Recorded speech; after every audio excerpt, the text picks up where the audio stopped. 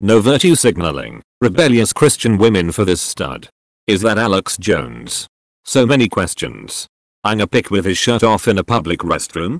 Why is he taking a pic with his shirt off at all? I can see a rape charge in his future. How the hell am I ever going to get a GF when this is the competition S? Totally not bitter about women not fucking him. LMAO heck, I'm not even on Tinder you're just imagining this.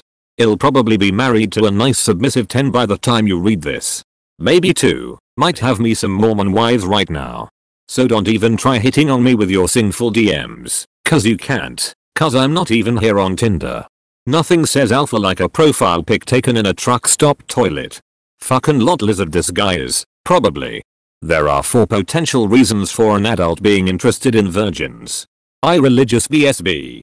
You know you would disappoint any woman who has had sex that was at least adequate. C. You have a little dick and actually believe that vaginas get permanently stretched out from sex.